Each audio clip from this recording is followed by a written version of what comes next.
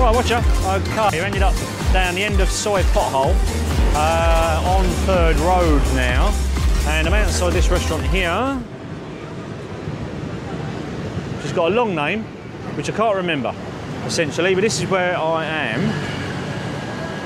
And this is the scene now. Quite a busy place. And as you can hear, quite a busy road. So I've just ordered um, sea bass and some deep fried pork with rice.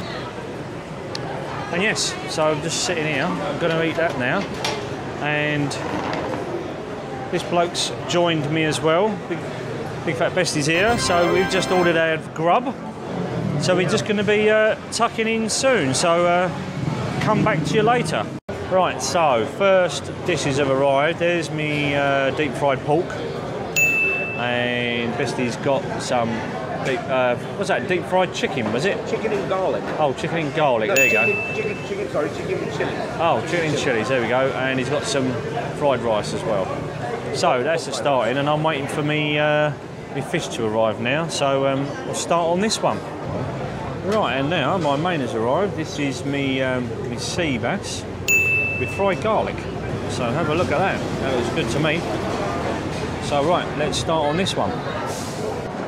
Right, so here we are. This is the aftermath. It has been destroyed.